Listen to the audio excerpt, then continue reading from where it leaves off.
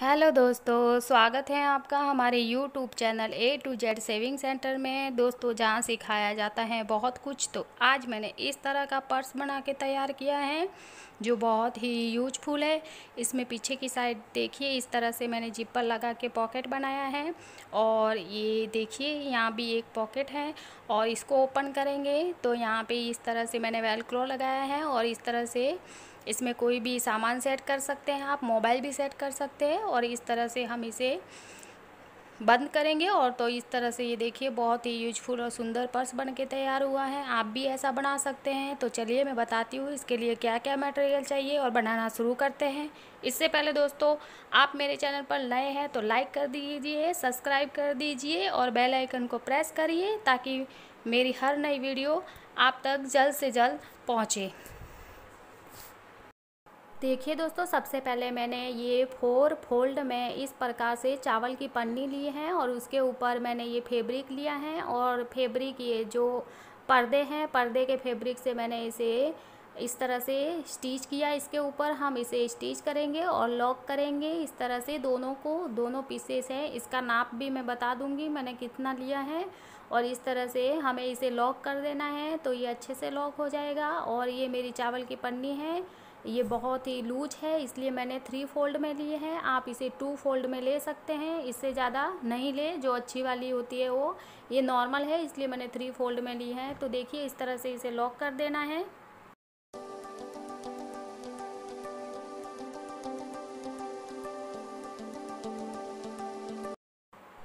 अब हम देखिए, इसका प्लम बनाएँगे। तो इसके लिए देखिए, इस फैब्रिक को हम कटिंग करेंगे और इस फेब्रिक का नाप क्या है वो मैं आपको बता दूँगी।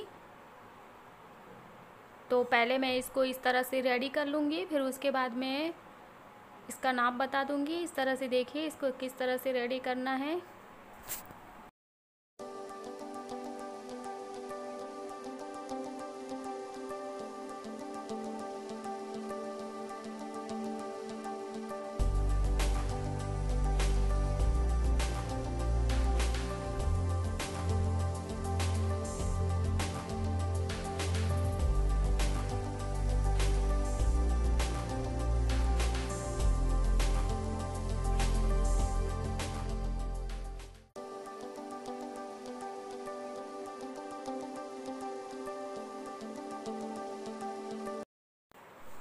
अब देखिए, हमें क्या क्या लेना है? देखिए, ये दो मैंने वेलक्रो लिए हैं, जो इस तरह से वन वन इंच का है और एक जीपर लिया है। इसका नाप मैं आपको दिखा देती हूँ। एट इंच है और एक रनर लिया है और इसका नाप देखिए, इस तरह से नाइन बाई इलेवन इंच है। नाइन बाई इलेवन इंच का इस तरह से दो लाइनिंग पीस और दो कुल्टन पीस इस तरह से ले लेने हैं।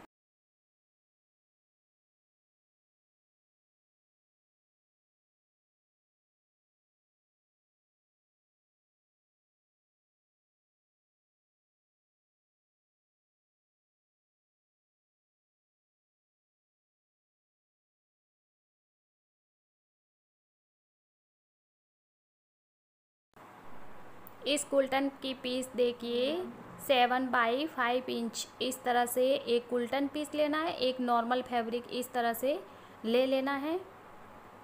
अब देखिए, अब हम इसे शुरू करते हैं, बनाना, इस लाइनिंग को लेंगे और एक कुल्टन पीस लेंगे और इस तरह से एक हमें उरे पट्टी ले लेनी है ताकि हम पाइपिंग लगाएँगे और इस तरह से एक लाइनिंग और एक कुल्टन पीस लेंगे और उसके ऊपर इसे अटैच करेंगे, इसके ऊपर जीपर अटैच करेंगे तो जीपर को हम लेंगे और उसे ओपन करेंगे और एक साइड से हम उसे लगाएँगे इस तरह से। देखिए, हमें जीपर को उल्टा रखना है, जो हमारा मेन कुल्टन पीस है, उसकी तरफ़ सीधा रखना है और इस तरह से उल्टा रखना है। ऊपर की साइड से इस तरह से रखेंगे हम और लाइनिंग को इस तरह से इसको ऊपर रखेंगे और इसे स्टिच करेंगे। अब दोनों साइड हमें इसी तरह करना है।